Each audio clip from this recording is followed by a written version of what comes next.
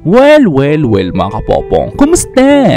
Well, bago natin pag-usapan itong chess grandmaster na si Wesley So, ay tanungin ko muna kayo kung natatandaan nyo pa ba yung ginawa ni President Duterte dito kay Heidelin Diaz noong nag-uwi ito ng silver medal para sa sports na weightlifting? Well, ito lang naman yung mga panahon na bukod doon sa 5 million pesos na nakuha ni Heidelin Diaz bilang premyo galing sa ating gobyerno ay nagdesisyon pa itong si President Duterte na magbigay pa ng additional 2 million pesos o 2 milyong piso bilang bonus dito kay Heidelin Diaz. Well, dito lang naman sa akin nabanggit eh, gusto ko lang naman ipaalam sa inyo na posible rin pala talaga na mabigyan ng isang atleta ng bonus na pera maliban doon sa actual prize na kanyang makukuha. Subalit pagdating naman dito sa batang super chess grandmaster na si Wesley So, ay ito kasi ang isa sa mga naging dahilan sa kung bakit nagdesisyon itong si Wesley na lumipat na lamang sa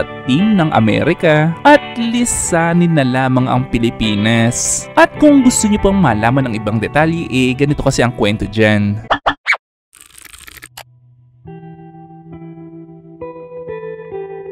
Well, yes mga kapopong. Ang number one reason kasi sa kung bakit lumipat ng Team America itong si Wesley eh, ang patungkol sa kakaibang suporta na ibinigay dati ng ating gobyerno. Well, bigyan kita ng halimbawa. Actually, noong taong 2013 kasi, ay sa unang pagkakataon sa history ng Pilipinas, ay nanalo ang ating bansang Pilipinas ng gold sa larong chess sa World University Games na ginanap sa Russia. At ito nga ay sa katauhan nitong ating kababayan na si Wesley So. Subalit, dito rin pala sa karangalan na inuwi niya sa Pilipinas, ay mararamdaman niyan na parang may mali pala sa pamamalakad ng ating gobyerno noon. Well, sa madaling kwento, ay hindi kasi ni-recognize ng Philippine Sports Commission yung ginawang pagsali ni Wesley doon sa competition sa Russia. Napaliwanag naman ng Philippine Sports Commission na itong competition na ito na sinalihan ni Wesley ay hindi kasali sa mga competition na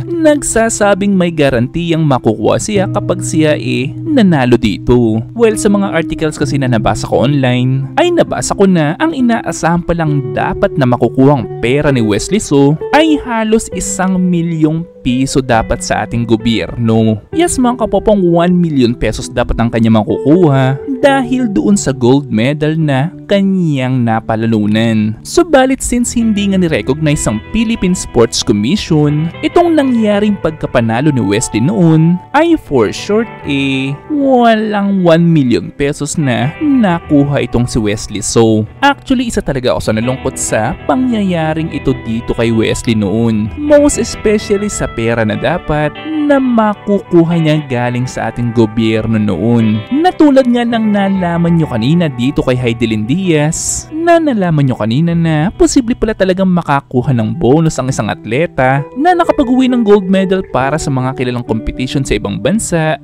base sa nakaupong opisyalis ng ating gobyerno noon. Pero take note mga kapopong ha, noong mga panahon na nangyari ito kay Wesley So noon noong taong 2013 ay syempre hindi pa si President Duterte ang ating Pangulo noon. Well anyway noong nakaraang linggo lamang ay siguro isa ka rin sa nakabalitan na itong si Wesley ay nanalo na naman sa isang competition na tinalo niya ang number one chess grandmaster sa buong mundo na si Magnus Carlsen. Subalit ang bandila na kanyang dinadala na ngayon ay ang bandila na ng Amerika. Well kaya't hindi mo rin talaga maiwasan na marami kang matatagpuan ng mga comments galing sa mga Pilipino sa social media na sinasabi nilang pinagtak sila ni Wesley So ang ating bansa dahil sa kanyang paglipat ng team sa Amerika. Well, para naman sa mga kababayan natin na nagsasabi niyan, ay siguro kailangan mo munang marinig itong aking ipapaliwanag ngayon. Actually, kahit nga itong isa pang pambato natin sa chess na si Eugene Torre, ay aminadong suportado niya ang ginawang desisyon ni Wesley na paglipat ng team ng Amerika. Well, sino ba naman daw kasing atleta ang gaganahan sa isang bansa na puro korupsyon na lamang ang nangyayari na wala namang konkretong suporta na na ibibigay sa isang atleta? Well, sa bansang Amerika kasi mga kapopong eh, ang turing o trato sa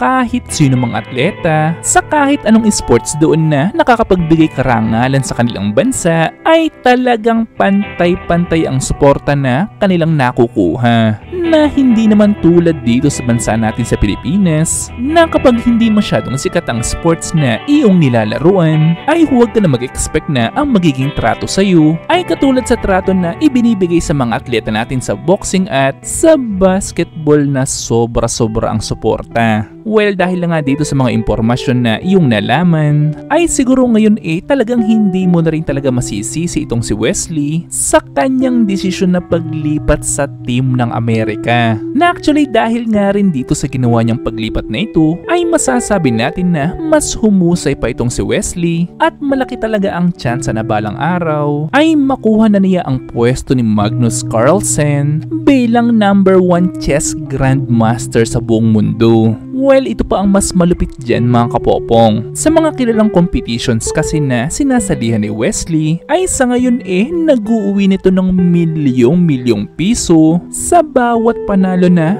kanyang nagagawa. Well, tulad na nga noong isang linggo, na kung saan nakapag-uwi lamang ito ng halos 2 million pesos. Na take note mga kapopong ha, na isa lamang ito sa mga competitions na kanyang sinalihan under ng kanyang team na Amerika. Well anyway, mabalik tayo years ago. Actually noon eh, dumipensa naman ng Philippine Sports Commission na nagbibigay naman daw talaga sila ng financial support dito kay Wesley So na halos 40,000 pesos kada buwan. Subalit base rin sa statement ni Nery Colmenares noon na itong 40,000 pesos na nakukuha ni Wesley So sa ating gobyerno noon ay hindi pa talaga sapat na kung pagbabasya naman natin ang suporta ng Amerika ngayon dito kay Wesley ay kahit ikaw eh siguradong masasabi mo rin ngayon na mas better talaga na lumipat na itong si Wesley sa Amerika. Well, base pala sa website ng chess.com ay sinabi dito na posible daw na kumikita na ng halos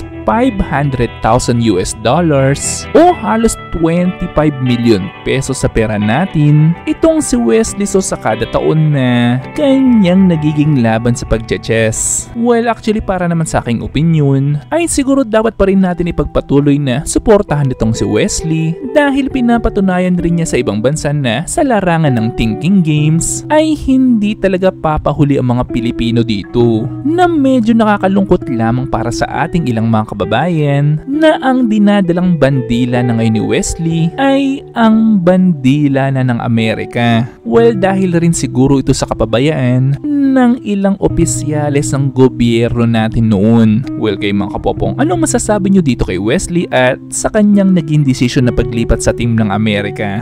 Well, gusto ko malaman yan so i-comment lang yan sa baba. Ito aking babasahin ng personal at pupusuan. At syempre kung may nalaman o natutunan ka sa video ito, mag-subscribe ka naman. At nandito na yung inyong mga shoutouts. At kayo rin mga popong, kung gusto nyo rin magpa-shoutout o mag-request ng video ay i-comment At muli lang yan sa baba. teacher Popong na nagsasabing, Te amo!